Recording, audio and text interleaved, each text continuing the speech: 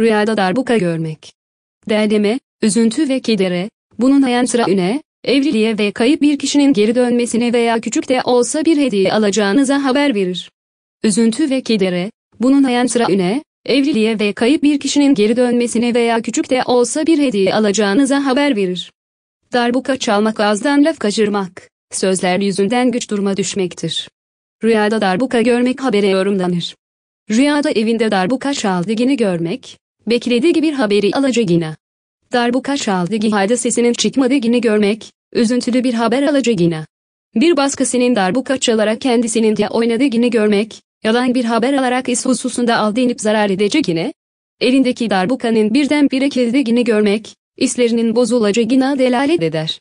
S. Hüseyin'e göre, rüyada darbuka görmek ve çalındığını duymak veya çalmak hayırlıdır.